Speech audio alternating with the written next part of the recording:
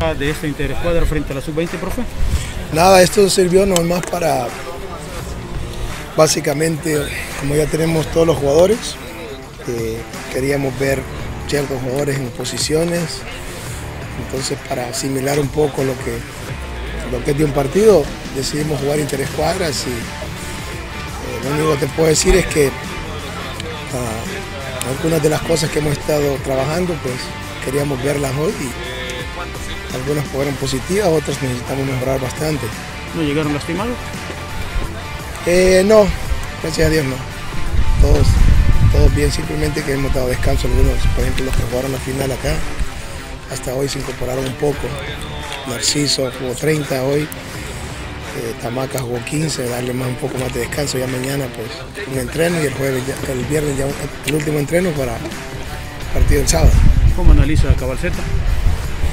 Bien, lo que pasa es que también ahorita estamos, eh, como te digo, eh, cada vez que traemos un jugador nuevo tenemos que poco a poco integrarlo y así pues no lo queremos tirar de un solo. grupo ya, la mayoría del grupo ya tiene un tiempo, pero pienso que nos va a ayudar bastante. Profesor, ¿qué cosas eh, destaca de los muchachos en el amistoso de ahora que también es importante para ir asentando la idea? Mira, como te dije, había algunas cosas que queríamos ver y después queríamos ver la 20 también. básicamente el, el, no nos interesa, más que toda la función de la de nosotros y, con la 20 también, porque hay jugadores interesantes en la 20 que me gustan bastante, creo que están cerca después de este premundial de ellos, empezar a integrarlos con la mayor. ¿Se está consiguiendo las transiciones y la posesión que siempre ha insistido en ello?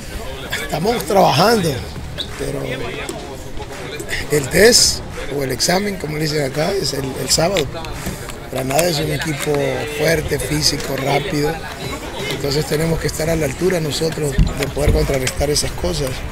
Y claro, la idea siempre va a ser tratar de tener la pelota y atacar eh, con números, pero no todos a las veces sucede eso, pero trabajamos para eso y esperemos que el sábado podamos hacerlo.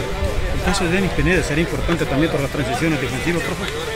Todos, no Denis, todos. Se les ha pedido a todos los jugadores porque en realidad para nosotros poder jugar de una manera que queremos, que es presionar bastante, lo tienen que hacer todos, pero empezamos siempre, tratamos de empezar siempre con los de arriba y ya después se va añadiendo los de medio y los de atrás, pero todos tienen que hacer ese trabajo.